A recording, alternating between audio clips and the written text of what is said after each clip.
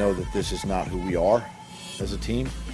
It's an overreaction Monday, but we're not going to overreact here. We're going to try and sift through a lot of the uh, bad stuff from what happened out on the field yesterday. Welcome into Teal the Show. I'm Jamal St. Cyr alongside Frank Frangie. Frank, uh, that was not what I think any of us expected to see on the field. No, they played miserably, and, and by their own admission, they didn't play very well. They played bad, badly in all areas, and when you play badly in all areas, the other team gained some confidence, and that's what wound up happening. And, and the Houston Texans gained confidence. Look, we can break this thing down 10 different ways. Uh, who played badly? Nobody played well in that game. Too many unforced errors in that game, which were the key to the game. But in my mind, the biggest problem with this team, Jamal, is they've got to get better at the line of scrimmage. They're getting beat in the trenches almost every game on both sides of the ball. I thought against Indianapolis, the Jaguar defensive line won that battle and they won the game. I thought against Kansas City and Houston, they lost the trenches on both sides, and that's the key. There's no margin of error when that happens, and that's what they better find a way to get corrected. All right, you brought us to the trenches, so let's start there. The Jaguars pass rush did not get home on Sunday. They were going against a Texans team that was out four starters. Right. They didn't have four starters on their offensive line, and the Jaguars came up with zero sacks. Doug Pederson said that it just comes down to players going out there and making plays. I just think it comes down to each man. Just it's a want to, a will to. You know, um, you know, obviously we can as a staff you can create it with with games and and different things. You know, stunts and stuff. But I'll say it's hard when the ball's out of the quarterback's hand. You know, fast. So you're on your second step or maybe your third step making a move and the ball's gone. Uh, it does affect that a little bit, but but we can be better. Um, just understanding the uh, uh, the pass rush, the game plan, you know, that week, and and and really um, use that to our advantage, um, you know, when you can.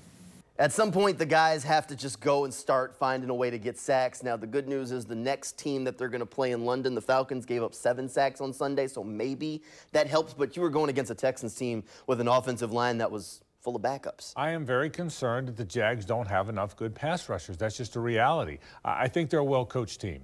I think they play hard. I think this is a good group of guys, and the culture and the effort is all there. I like this team but I don't think they've got a lot of good pass rushers. Josh Allen's the best one. He was playing with the shoulder. He certainly is the best one. Travon Walker has not developed into a pass rusher yet. Uh, K'Lavon Chaisson has not affected the passer in his years in the league. Yasir Abdullah is a is a rookie. Uh, the internal guys, they really miss DaVon Hamilton because he can collapse that pocket as the pass rusher, not just a run stuffer. But they've got to find, they've got to change something because they're really not getting to the passer, whether that's blitz packaging, whether that's coverages. Uh, that is a major, and we knew before the season, Jamal, was going to be a concern, and it has played out that way. It really has. All right, let's go to the offense, Frank. Uh, the expectations yeah. were through the roof for what this offense could do and what it was going to be and how many points they were going to score. People were saying they could be the highest scoring offense in the NFL. We've talked about it here. And so far, uh, it, they've left a little bit to be desired. Well, here's what's happened, too. When you're not the most physical team, you have very little margin of error. Uh, Trevor cannot miss that throw to Zay Jones he missed against Kansas City when he airmailed it out of the back of the end zone. Calvin Ridley can't drop the ball on the first drive of the game when it's an easy touchdown. You, there's no room for error. You can't fumble after a slant, which they've done a few times. You can't have a hands to the face when you convert a fourth and one. When you're not the more physical team, it comes down to a handful of plays and there's no margin of error. I think the offense will get it figured out. Cam Robinson's got to come back and be the left tackle. Walker Little, in my mind, has got to move down to left guard. Anton Harrison will continue to play better. He'll be a way better player as the year goes on. I'm not worried about the offense finding it. But right now they have to find it. And again, in my opinion, they're not playing very well up front, and that means the margin of error uh, dropping passes, missing throws is very, very small. Right. That small margin of error makes it hard for them to operate. The problem hasn't been play calling, but a lot of people have been pointing the finger there. Press Taylor calling plays for full games this time for the first time this year. The Jaguars kind of had a little bit of an offensive spark in the second half that led to some people questioning if Doug Pederson had taken over play calling. Doug Pederson said that is not the case and that the offense just started getting the ball to their playmakers. Actually, the plan quite honestly, was to try to get them started early. You know, get get Evan and Christian going, and really get our run game established, as you saw, you know, early in the football game. Yeah, the one guy that really was playing like he was trying to win the game was Travis Etienne. He had a phenomenal game, 135 yards from scrimmage, I believe, and he looked like the guy who was trying to give them that offensive spark, and it just wasn't quite lighting. Yeah, the play calling, we've talked so much about that, and it's gotten kind of silly Whoever's calling the plays called that pass to Ridley, but he didn't catch it. Called that pass last week to Zay Jones in the back of the end zone, but Trevor overthrew it. Calls all those plays to Trevor, uh, to Travis Etienne. The slant that Jamal Agnew caught and converted the first down before he fumbled, somebody called that play. The other slant to Ridley that he dropped the ball, someone called that play they're calling enough good plays. That's not the problem. The problem is they have to execute. They have to quit making mistakes like the hands to the face on Brandon Scherff. They've got to quit making mistakes. Again, the better thing is if you can take over the game physically, I just don't think they're going to be able to do that. The play calling's fine, and I think Doug, uh, like Doug said, Press Taylor's calling the plays, but they're all involved in it, Jamal. Everybody's involved. Doug told me last year Jim Bob was involved in it. Mike McCoy was involved in it. Press. They were all involved last year, and the ones that are here are all involved this year. It's an offensive brain trust. That's right. All right. One guy that a lot of people have been excited to see, but has struggled the past couple of weeks, Frank Calvin Ridley had a few key drops. You talked about one just now. Uh, Trevor Lawrence threw a beautiful pass. Looked like he would have been in the end zone. Jaguars would have taken an early lead. He just can't quite haul it in. Are you worried about Ridley? I'm not worried. I, I think Calvin Ridley's a good player. He hasn't played a while, and he hasn't played in real games in a long time. I think Calvin Ridley's a really good player. I think he's beating himself up. Uh, I think Calvin Ridley's going to be a good player and he's going to be fine. Now, having said that, he's got to play better. You can't drop the ball in the end zone. You can't have the false starts. You can't have the other drop. He had a really bad game. So remember, the game one, he had a really good game. I think Calvin Ridley's going to be fine. I'm not worried about that. But he's got to play better. That's got to be the one get it out of your system game. He's got to play better. I think he will. Uh, Jamal, I think these weapons are good. I think they've got good weapons. I think Trevor Lawrence, by the way, is a really good player. But if the pocket, if he never has a clean pocket, if he's always moving, if he's always moved off his spot, it's going to be tough to be as good a player. It's tough for quarterbacks to operate under pressure, any quarterback. All right, we've kind of worked our way through the bad. Coming up when Teal the Show returns, we'll start to try and look at the positives of what the Jaguars have moving forward. That's straight ahead when we come back. Welcome back into Teal the Show. The Jaguars are 1 and 2 on the season. Not exactly the start we had in mind, but look, the sky isn't falling. There's still plenty of time left in the year. And even though there's been a little bit of a slow start, Doug Pederson still has confidence that his group is going to get things back on the right track moving forward. I got a lot of confidence in this team and how we, we can respond and and bounce back and and uh, you know, but it takes. Listen, it's 14 games left, and and we got a, a, a big one this week. You know, we we've got to continue to, you know, right the ship obviously and um, fix the things that we need to fix.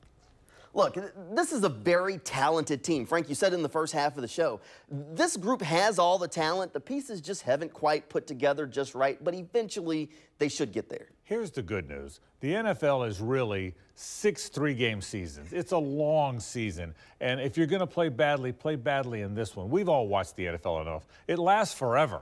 It starts around Labor Day, and it's, they're still going on in Valentine's Day. It's a long year. There's going to be some ups. There's going to be some downs. Now, you got to solve those things. That doesn't mean you just assume that organically everything gets solved. But I think it's, it's, it's three games. You're three games in. Fix some things that you got to fix. Fix the physicality part, as I've said throughout this show tonight. I think that's the biggest part. But I think they'll get some things fixed. I do think it's a good locker room. I do think it's a good culture. And I do think they're a really well coached team. And I think Doug Pederson's a good coach. All that together, I think they'll be okay. Again, that doesn't mean there's not some changes necessary at some of those positions up front.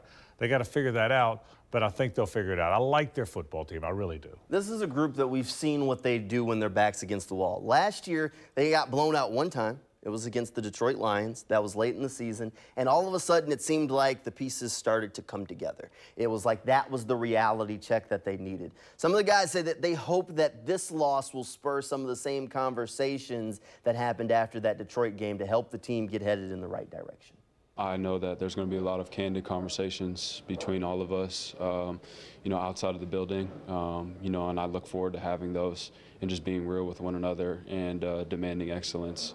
Um, you know, it starts with me. It starts with everybody, you know, on the offense. And, uh, you know, I know all three phases are going to do that too. So um, we'll get it turned around. You know, when you have this much talent on a team, sometimes you need that reality check, that, that reason for everyone to say, okay, look, maybe we can't just out talent everybody. Everyone has to play their role and play as a team. Well, I'll tell you this Doug Pederson said we all have to reevaluate, and it starts with me, meaning him. He's got to look at himself and say, do I have the right coaches coaching the right guys? Do I have the right personnel in? Am I putting them in a position to be the best player they can be? I love that he said that. But it also means the players. You, only have so much time to practice. There's only so many hours you're together. Then you're at home by, with your family. You're away from the facility. Are you doing everything you can do to make sure you don't drop passes, to make sure you don't miss tackles, to make sure you don't false start? Are you doing everything you can do to be the best player you can be? Now, again, I like this team. I said that earlier. So I'm guessing for the most part they are. But that's the question you have to ask. Uh, why are we dropping passes? Why did I drop a pass? Why did I miss a tackle? Why did I not know to tackle the fullback on the on the kickoff for crying out loud? How did I miss that? Did I have a bad angle? Let me go back and watch tape and see if I took a bad angle. I think every player's got to go back and do that when teams struggle. I think Doug's the right guy to lead them toward that. I do. I, I agree with you there. Doug Pederson has definitely done a good job. He is the calm within the storm. Whether they win, lose, you get kind of the same guy no matter what. All right, Frank. Uh, next up for the Jaguars, their trip to London. Two weeks there. First game is going to be against the Atlanta Falcons. I kind of pulled some of the guys along the way. Uh, the offensive guys seem to think that maybe the change up from the norm could help the team, get them out of their comfort zone, kind of rattle the cage a little bit. Defensive guys basically told me they thought it was just the next game on the schedule. Do you think the trip to London can kind of help to get them out of that comfort zone, or is this just the game they need to play that's next? Well, I think there's two things. Number one, the latter, the last thing you said, I think, is what matters most. It's the next game. When you lose a game, you can't wait to play the next game, and I think this team can't wait to play the next game. So I think that's the big thing. But I, I think sometimes when things aren't going well, get away from it all, get together, kind of be together away from it where it's just you. Yeah, I think there's something to be said for that, and I think that'll help the cause. All right, we'll keep an eye on it. The Jaguars are one and two at this point of the season. You said the season's broken up into games of three. First uh, season of three didn't go the Jaguars' way. We'll see if the next season of three can go a little bit better. We'll talk about it here on Teal the Show. Frank, thanks for being here. Thank you at home for tuning in. Good night, everybody, and go Jags.